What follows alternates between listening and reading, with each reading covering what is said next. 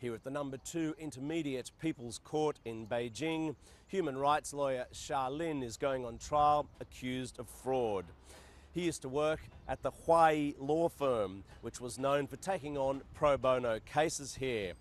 Famous Chinese lawyer Pu Zhiqiang also worked at Huayi, and Xia Lin was going to represent him before both of them were taken away and are now in custody. Both the cases, in fact, are seen in the context of a broad crackdown on human rights lawyers and activists here in China. Xia Lin is said to have racked up huge gambling debts to the tune of $1.5 million. So this is not such a clear cut case. He's accused of fraud, but his wife and lawyer don't seem to be denying that the debts exist or that the card games took place where he's said to have lost this money. Instead, what they say is that his friends were coerced into complaining about this and that at worst the matter should be a civil rather than a criminal matter.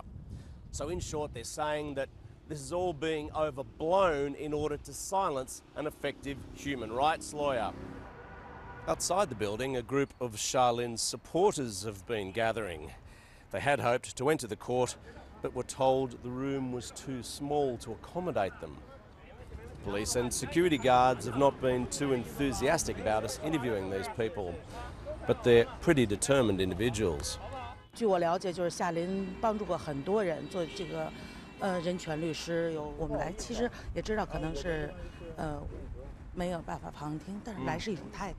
所以他们，你不不好意思，你干什么？不好意思，不让开吧。嗯，我觉得律师律师是维护这个国家的法治建设的。